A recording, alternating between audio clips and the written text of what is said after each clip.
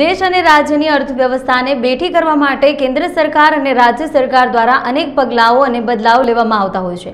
એટલું જ નહીં, નીતિ વિષયક નિર્ણયો પણ લેવામાં આવતા હતા જે ઉદ્યોગને કઈ રીતે વધુ બેઠું અને મજબૂત કરી શકાય તે માટે સતત સરકાર દ્વારા ચિંતા પણ કરવામાં આવતી હોય છે. ત્યારે વિવિધ ઉદ્યોગોમાં થતા બદલાવ અને નવીનીકરણને ધ્યાને લઈ અનેકવિધ અને એક્સપોનું આયોજન પણ સમગ્ર ભારતમાં થઈ રહ્યું છે. ત્યારે અમદાવાદ ખાતે ત્રણ દિવસીય ફૂડ એક્સપોનું આયોજન કરવામાં આવ્યું છે, જ્યાં ફૂડ ક્ષેત્રે સંકળાયેલા વિવિધ ઉદ્યોગો એક સાથે મળી કઈ રીતે વિકાસની હરણફાળ ભરી શકાય તે માટે કાર્ય હાથ ધરશે. ત્રણ દિવસથી આયોજિત ફૂડ એક્સપોમાં એકસો વીસથી વધુ કંપનીઓ સહભાગી થઈ છે, કે જે ફૂડ ઉદ્યોગ સાથે સંકળાયેલા ઉદ્યોગકારોને પડતી મુશ્કેલી અને તકલીફોને કઈ રીતે નિવારી શકાય તેને ઉત્પાદન ક્ષમતા વધુને વધુ કઈ રીતે આગળ વધે તે માટે સોલ્યુશન પણ આપશે. વિવિધ કંપનીઓ દ્વારા કરવામાં આવેલા ઇનોવેશનને પણ જાહેર કરાશે. અને ટેકનોલોજીનો ઉપયોગ સાથે બનાવવામાં આવેલી મશીનરી પણ રાખવામાં આવી છે.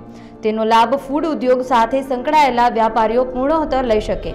માત્ર એક્સપો નહીં, પરંતુ રાજ્યના વેપારીઓને ઉદ્યોગ દ્વારા કે જે ખાદ્ય ક્ષેત્રે પોતાનું આધિપત્ય સ્થાપિત કર્યું છે અને રોજગારી સહિત અનેકવિધ તકો ઊભી કરી છે.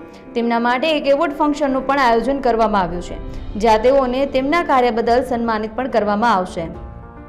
વિશ્વકર્મા ટેકનો સ્ટીલ ઇક્વિપમેન્ટ્સના કલ્પેશભાઈ સિદ્ધપુરા આપતક સાથેની વાતચીતમાં જણાવ્યું હતું કે ગુજરાતના ઉત્પાદકો વિશ્વની હરીફાઈમાં સતત આગળ વધી રહ્યા છે. વધુમાં તેઓએ ઉમેર્યું હતું કે તેમની કંપની હાઈ ક્વોલિટી પ્રોડક્ટમાં મશીનરીનું ઉત્પાદન કરે છે, જેમાં મોટી હોટલો અને રેસ્ટોરન્ટ તેનો ઉપયોગ કરી શકે છે. ખૂબ ઓછા સમયમાં હજારોની સંખ્યામાં ઉપસ્થિત રહેલા લોકોને તે ખોરાકનો લાભ મળતો હોય છે. સારા ખોરાકની સાથે સારી ગુણવત્તા જાળવણી એ એટલી જ જરૂરી છે. ત્યારે ફૂડ એક્સપોમાં જે ફાયદો મળશે તેનાથી ઘણા નવા સૂચનો અને સુઝાવો પણ સામે આવે તેવી શક્યતા છે. તેઓએ ઉમેર્યું હતું કે તેમની નવી ફૂડ કેટલ મશીન સોથી લઈ સાતસો લીટર દાળ, કાઢી સબ્જીને એક જ સાથે સાતસોથી આઠસો લોકોનો જમાડી દેવાનો ઉપયોગ નીવડી છે. એક્સપોને લઈને એવું છે કે એક્સપોની અંદર જે કંઈ બહારની પબ્લિક આવે, એમને આપણે જે કાંઈ નવી મશીનરી ડેવલપ કરી હોય, કે ઘણી વસ્તુ છે, તો એ પબ્લિક આવીને જોવે. ક્લાઇન્ટ અને એ પછી એના પછી આવીને નક્કી કરે કે આ વસ્તુ આપણે આ કંપનીની લેવી. મારી ફૂડની અંદર બધી જાતની આઈટમો બનાવી છે. અમે ફાર્માસિકલને લગતું છે, પછી કિચનને લગતી વસ્તુ છે. અને ટોટલી હાઈ મશીનરી એ બનતી હોય કે જે કિચનની અંદર જરૂરિયાત પડતી એવી નવી નવી ડેવલપ કરતા હોય છે. અમે મિક્સર ગ્રાઇન્ડર છે હેવી કેપેસિટીના જે બધા ઘર ઉપયોગીના નાના વાપરતા હોય એમાં સો સો લીટરની કેપેસિટીના બનાવીએ છીએ. કે જેને હજારો ટન ગ્રેવી બનાવી હોય હજારો ટન કામ કરવું હોય, પછી ખમણ ઢોકરાના એવા પ્લાન બનાવી છે કે એક કલાકમાં વીસ હજાર ઇટલી ઉતરી જાય એવો પ્લાન બનાવી છે.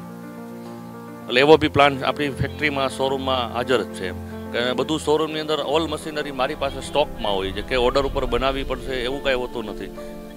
પછી આ જે કાંઈ કોઈ પણ રિક્વાયરમેન્ટ હોય પાર્ટીની કે ભાઈ અમારી આ વસ્તુની મેઇન જરૂરિયાત છે, તો આ બનાવી છે, તો અમે એમને આખી ડેવલપ કરીને બનાવીએ. ગુજરાતમાં ભવિષ્ય શું? એટલે ભવિષ્ય એટલે એવું છે, અત્યારે ચાઇના જે મશીનરી બનાવી છે, એથી સૌથી સારામાં સારું બેસ્ટ ગુજરાત ચાલુ થયું છે. કે હરેક વસ્તુની સારી ક્વોલિટી બનાવી શકે.